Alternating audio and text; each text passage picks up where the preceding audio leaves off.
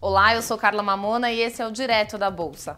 Ibovespa operava em leve alta de 0,41% nesta segunda-feira.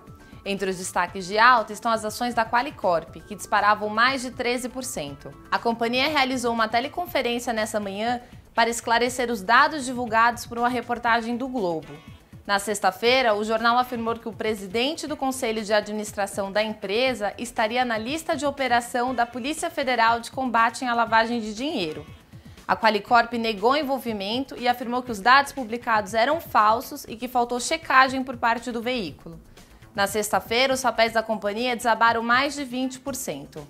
Ainda durante a tele, a empresa também anunciou um programa de recompra de ações.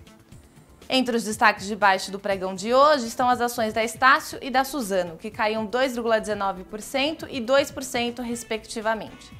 Esse é o Direto da Bolsa, tudo que você precisa saber sobre o mercado você encontra aqui em exame.com.